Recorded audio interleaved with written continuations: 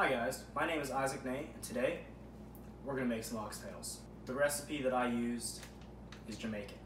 Now, I don't know if you can tell, I'm not Jamaican, but there's a big Jamaican community in Toronto where I grew up. So I always grew up with my dad bringing home jerk and oxtail and ackee and saltfish. You can see inside, you know, you got the actual tailbone, and uh, it's got a lot of fat, a lot of gelatinous stuff, and a lot of good meat on it. The history of dishes, I think, it's really important to find out or to know uh, where the food comes from because it helps you make it better.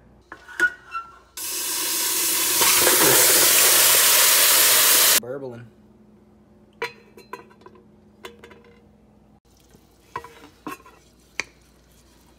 It's been 10 hours, these guys have been slow cooking.